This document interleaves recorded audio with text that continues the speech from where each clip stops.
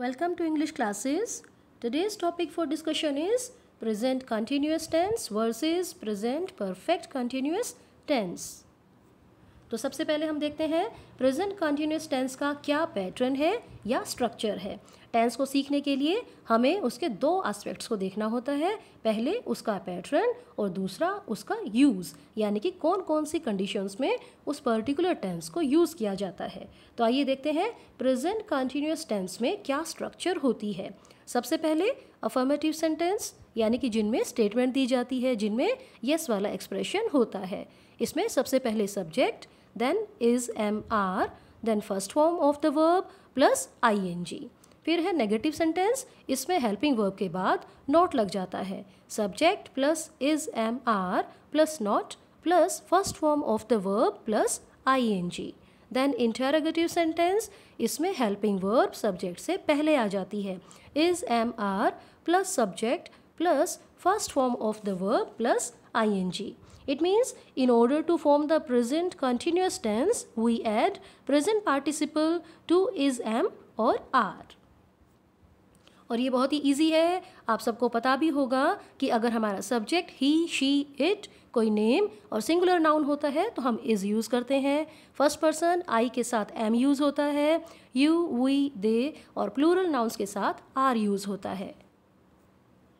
Let's have a look at the examples affirmative sentence she is cooking rice देखिए she subject है। She के साथ helping verb is लगी। फिर उसके बाद वर्ब की first form cook plus I N G and then object तो सेंटेंस बना शी इज़ कुकिंग राइस ये प्रेजेंट कंटिन्यूस टेंस का एग्ज़ाम्पल है। इसी सेंटेंस को अगर हम नेगेटिव में देखें तो क्या बनेगा? She is not cooking rice then interrogative में इज़ शी से पहले लग जाएगा। इज़ शी कुकिंग राइस और भी एग्जाम्पल्स हैं यहाँ पर, देखिए। I am cooking rice I के साथ एम लगता है। फिर फ़र्स्ट फॉर्म फिर I N G and then object इसी को नेगेटिव में I am not cooking rice interrogative में am I cooking rice then they are cooking rice they are not cooking rice are they cooking rice Muskan is cooking rice. यहाँ पर मैंने example दिया singular noun का, किसी name के साथ is लगता है।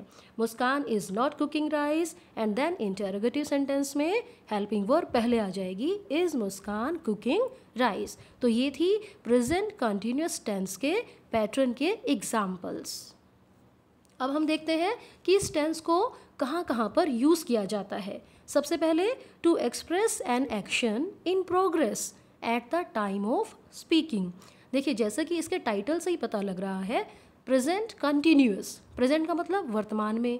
कंटिन्यूस मतलब जो काम चल रहा है, जो प्रोग्रेस में है. और यहाँ पर क्या खास बात है कि जिस समय हम बोल रहे होते हैं, बोलते हुए जो कार्य चल रहा है, उसके लिए इस टेंस को यूज़ किया जाता है. Example he is reading a newspaper जिस टाइम हम बोल रहे हैं, उस समय वह अखबार पढ़ रहा है। यानी कि ये भी कह सकते हैं हम कि हमारी आँखों के सामने जो काम चल रहा है, उसके लिए प्रेजेंट कंटिन्यूस टेंस को यूज़ किया जाता है। दूसरा example children are playing in the park children plural था, इसलिए हमने आर यूज़ किया। और इसमें मेन वर्ब की फ़र्स्ट फॉर्म के साथ आईएनजी लगाते हैं तो सेंटेंस बन गया children are playing in the park next Mohit is singing a song. अगला यूज़ देखिए। To describe an action in progress but not necessarily at the time of speaking first use में आपने देखा कि जिस समय हम बोल रहे हैं, उस समय कोई कार्य चल रहा है, कोई काम हो रहा है तो हम इस टेंस को यूज़ करते हैं। दूसरा यूज़ है कि ज़रूरी नहीं जिस टाइम हम बोल रहे हैं, उसी टाइम वो एक्शन हो रहा है। बल्कि ये भी हो सकता है कि इन दिनों आजकल ये काम चल रहा है। जैसे they are building a house अब ये ज़रूरी नहीं है कि जिस टाइम हम बोल रहे हैं, उसी टाइम ये हाउस कंस्ट्रक्शन का काम चल रहा है, लेकिन आजकल वे जो है हाउस को बिल्ड कर रहे हैं। Next he is writing a novel these days वह आजकल, इन दिनों एक नोवेल लिख रहा है। अब ये भी ज़रूरी नहीं, देखो, कि जिस टाइम बोल रहे हैं, तभी वह जो है लिखने लग गया है, लिख रहा है, बल्कि इन दिनों वह एक नोवेल लिख रहा है। Then India is exporting medicine to other countries कि आजकल इंडिया दूसरे देशों को मेडिसिन एक्सपोर्ट कर रहा है। Next to express an action that is plan to take place in the near future ये हमने प्रेजेंट इंडेफिनेट में भी देखा था कि नियर फ्यूचर के इंसिडेंट्स एक्शंस जो ऑलरेडी प्लान्ड होते हैं, उनके लिए हम प्रेजेंट इंडेफिनेट भी यूज़ कर सकते हैं प्रेजेंट कंटिन्यूस भी और फ्यूचर इंडेफिनेट भी यूज़ कर सकते हैं। जैसे एग्ज़ाम्पल देखिए his uncle is arriving next Tuesday अगले मंगलवार को उसके अंकल आ रहे हैं या अगले मंगलवार को उसके अंकल आएँगे, ये भी कह सकते हैं हम। Then they are not going to Pune tomorrow near future हो गया ना, कल। वे कल पुणे नहीं जा रहे हैं। Classes are ending next week अगले सप्ताह क्लासेस खत्म हो रही हैं या हो जाएँगी। नेक्स्ट यूज़ देखिए। हमने प्रेजेंट इंडेफिनेट में किया था कि किसी की हैबिट को बताना हो तो हम वर्ब की फ़र्स्ट फॉर्म प्लस एस या ई एस यूज़ करते हैं। यानी कि हम प्रेजेंट इंडेफिनेट यूज़ करते हैं। लेकिन यहाँ पर भी फिर से ये यूज़ आ गया है। तो आपको कंफ्यूज नहीं होना है। यहाँ पर हम अगर किसी की हैबिट को बताते हैं तो उसमें एक नेगेटिविटी होती है। यानी कि किसी की नेगेटिव हैबिट को हम बता रहे होते हैं तो प्रेजेंट कंटिन्यूस टेंस को यूज़ किया जाता है। Example she is always asking questions अब वो हमेशा क्वेश्चन पूछती रहती है। ये उसकी मतलब इरिटेट करती है वो दूसरों को। इसलिए उसकी नेगेटिव क्वालिटी बताई गई है ये। Then they are always borrowing money कि वे हमेशा पैसा जो है बोरो करते रहते हैं। Then Sudha is always complaining about things ये सुधा की नेगेटिव हैबिट है कि वो हमेशा शिकायत ही करती रहती है। तो किसी की नेगेटिव हैबिट को जो हमें इरिटेट करती है, उसको बताने के लिए भी हम प्रेजेंट कंटिन्यूस टेंस यूज़ करते हैं। नेक्स्ट है hear notice smell love hate like wish belong possess यानी कि जो वर्ब्स परसेप्शन की होती हैं, उनको प्रेजेंट कंटिन्यूस में यूज़ नहीं किया जाता, उनके साथ प्रेजेंट इंडेफिनेट टेंस से यूज़ होता है। फॉर एग्ज़ाम्पल कोई बिल्कुल सिंपल एग्ज़ाम्पल लिया मैंने आई लाइक हिम आप सबने सुना भी होगा ये। इसकी जगह देखो I am not liking him ये ग्रामेटिकली रॉन्ग हो जाएगा, क्योंकि यहाँ पर लाइक like वर्ब है, इसको प्रेजेंट कंटिन्यूस में हम यूज़ नहीं करते। It is a grammatical rule तो आइए हम प्रैक्टिस करते हैं फटाफट से। शी वॉच टीवी वह टीवी देख रही है।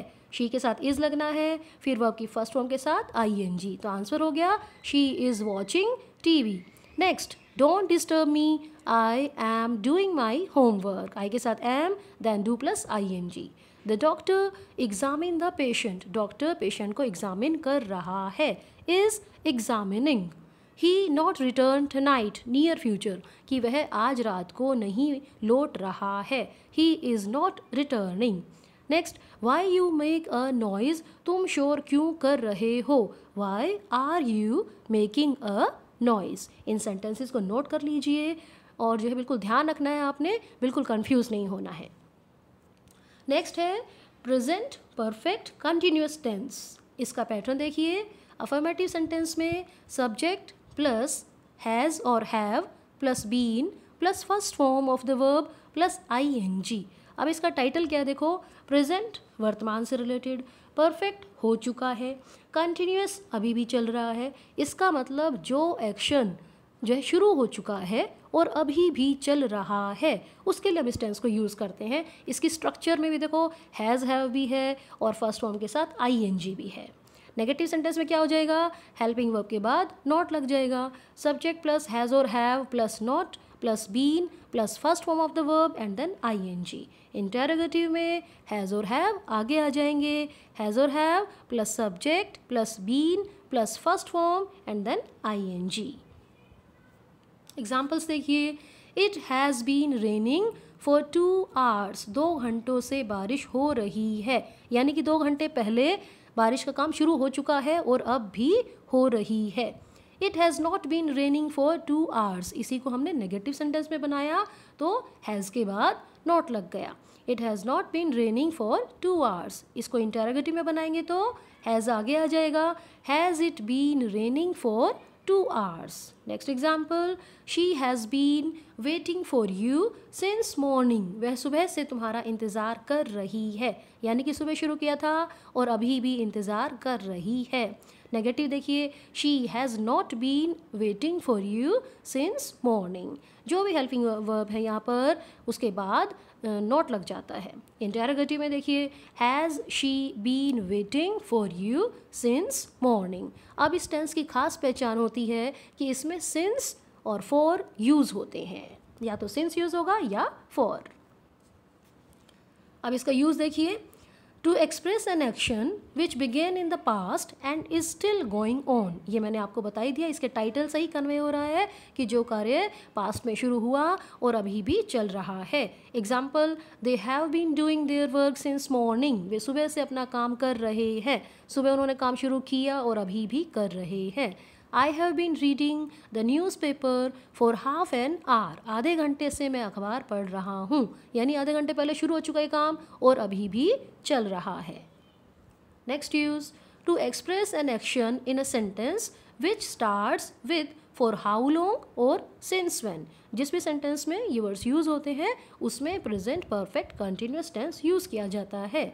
देखिए, जैसे सेंटेंस हमारा स्टार्ट हो रहा है for how long have you been sitting here तुम कब से यहाँ पर बैठे हो? Since when has he been living in this house वह कब से इस घर में रह रहा है?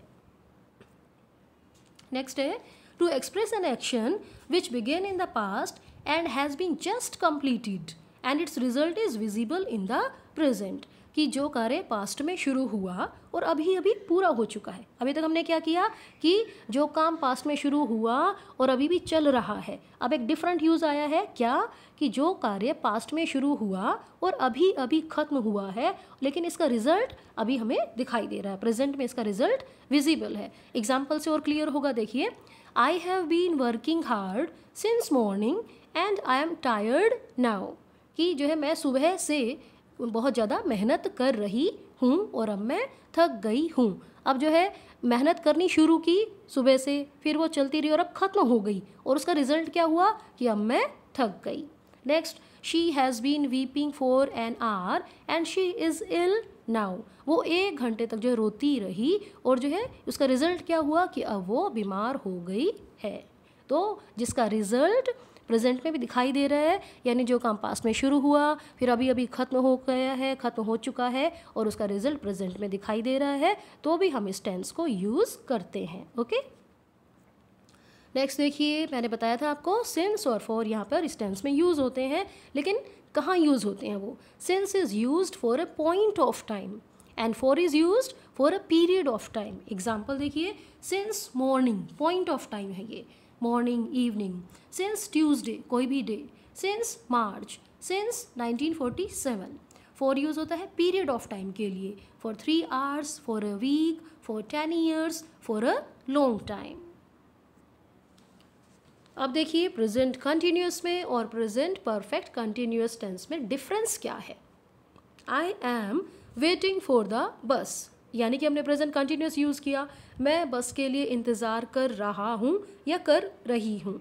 ठीक है? दूसरा देखिए I have been waiting for the bus since morning आपको क्लियरली दिखाई दे रहा है कि जहाँ पर सिंस यूज़ हुआ है, हमने present perfect continuous tense use किया है। क्योंकि इसमें क्या है? सुबह से बस का इंतज़ार जो शुरू हो चुका है और अभी भी चल रहा है। और फ़र्स्ट सेंटेंस में हम नॉर्मली कह रहे हैं कि जो प्रेजेंट में बोलते समय चल रहा है, जिस तरीके से कि मैं बस का इंतज़ार कर रहा हूँ। दूसरा इट इज़ रेनिंग आउटसाइड बाहर बारिश हो रही है। जिस टाइम हम बोल रहे हैं, उस टाइम कार्य चल रहा है। दूसरा it has been raining for two hours दो घंटे पहले बारिश शुरू हुई और अभी भी चल रही है। He is flying a kite फिर से वही कि हम बोल रहे हैं, उस टाइम वह पतंग उड़ा रहा है। दूसरा he has been flying a kite since two o'clock वह दो बजे से पतंग उड़ा रहा है। यानी काम शुरू हो चुका है और अभी भी चल रहा है। So this is the difference between these two sentences sorry, two tenses. Now, finally, exercise. He suffer from fever, वह बुखार से सफ़र हो रहा है। Okay he is suffering from fever he suffer from fever since Monday जैसे ये since आ गया four आ गया तो हम प्रेजेंट परफेक्ट कंटिन्यूस टेंस को यूज़ करेंगे। He has been suffering from fever next we play a hockey match tomorrow near future हो गया तो प्रेजेंट कंटिन्यूस यूज़ होगा। We are playing a hockey match tomorrow she burn mid night oil for five years जैसे ये time आ गया तो हम, हमें पता है कि प्रेजेंट परफेक्ट कंटिन्यूस यूज़ होगा। She has been burning mid night oil for five years next since when dash you read in this school कब से तुम इस स्कूल में पढ़ रहे हो? ये मैं आपके लिए छोड़ती हूँ। अभी अभी हमने रूल्स डिस्कस किए थे तो आप देखिए कि प्रेजेंट कंटिन्यूस यूज़ होगा या present perfect continuous tense use होगा। So don't forget to like, share and subscribe my channel English Classes with Sheetal Sharma. Thank you very much for watching this video.